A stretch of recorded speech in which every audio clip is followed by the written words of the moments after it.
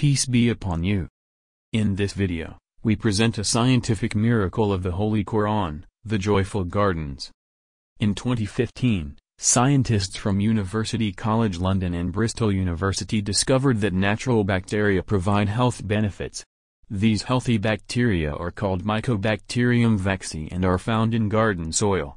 It makes humans happier by generating and releasing chemical substances, which control happiness, in humans' brains.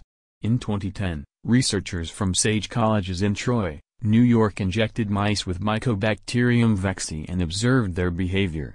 They found that mice became happier, less prone to anxiety and smarter after being served Mycobacterium vaccae.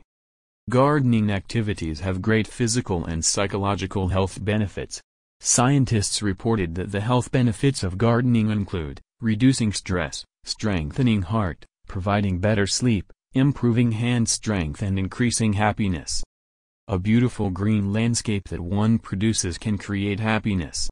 Furthermore, Mycobacterium vaccae that lives in the soil can reduce anxiety, improve mental health and increase happiness.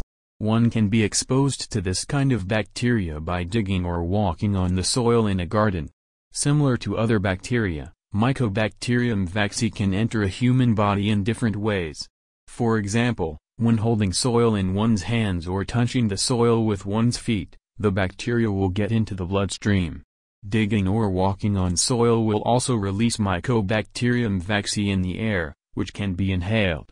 Therefore, gardens and gardening are defined as natural antidepressants and happiness providers. More than 1,400 years ago, the Holy Quran mentioned the happiness produced by gardens in the following verse.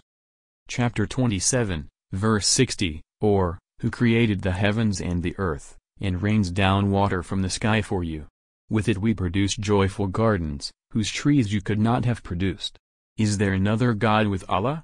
But they are a people who equate. The Arabic word used to describe gardens means joy or delight. This indicates that gardens bring happiness to humans. Thank you for watching this video.